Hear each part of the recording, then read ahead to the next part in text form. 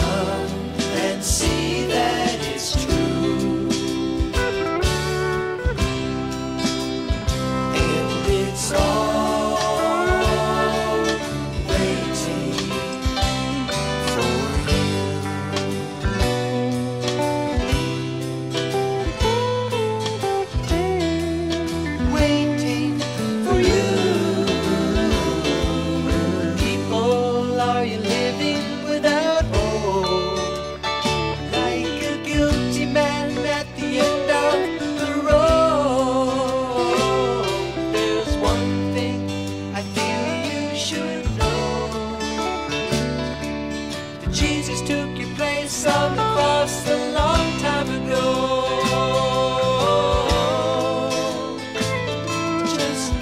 of your sin and enter into the kingdom.